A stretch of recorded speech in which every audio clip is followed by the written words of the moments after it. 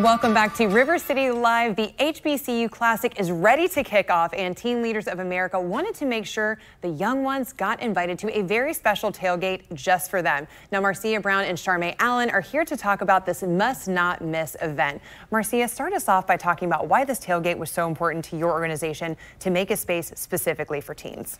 So normally when you see a tailgate, um, a lot of times the teens or the kids are kind of lost in the shuffle with the adults.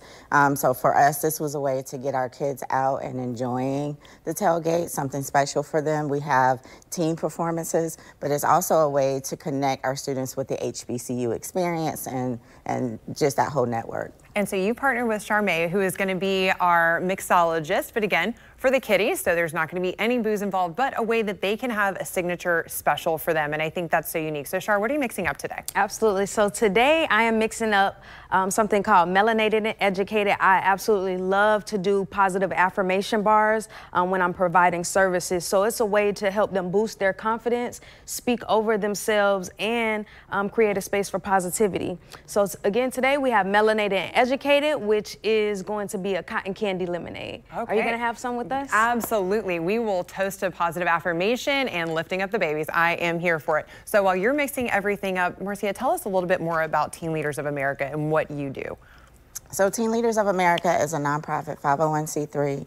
Um, we service students all across Jacksonville and surrounding areas um, with the support of the Kids Hope Alliance, City of Jacksonville, as well as the Department of Children and Families. We have mentoring, after school, and summer programs. Um, and the focus is workforce development, mm -hmm. college and career readiness, and we provide academic support with the support of a lot of our lead teachers. So we're excited. Wow, you guys are busy lifting up these youth. Okay, so we're going to check in because I'm, man, you made that quick. I know. She said there is no line at this positive affirmation bar. She said, I'm good like that. up. I know, that is amazing. All right, so, so far, again, one of the first things that I did was add the lemonade and then we have additional flavors. So um, on this particular drink, the garnish is going to be cotton candy. That is something that they absolutely love.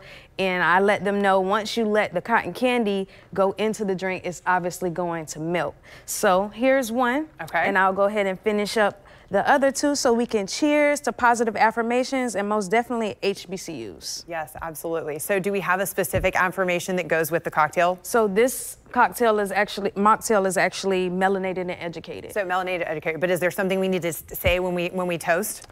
I'm gonna just say uh, happy Friday. happy Friday, happy Friday. So do I let it go in? Yep. To melanated and educated and supporting all of the like. All right, cheers, everybody. Do we still have to do that if there's no booze in it? that is delicious. Rands, I'm going to share with you because it is so tasty. Now, if mm. people want to come to this tailgate, if they want to experience this, what is the best way to get in touch? teenleadersofamerica.com. Perfect. And we're going to have a shameless drop to you because I love the idea of a positive affirmation bar for the youngins or for the adults. Absolutely. I am Charda Mixologist, owner and mixologist of Cocktails of Sweetness, where there is the taste of sweetness in every cocktail. You can find me at Cocktails of Sweetness on Facebook and Instagram. All right, ladies.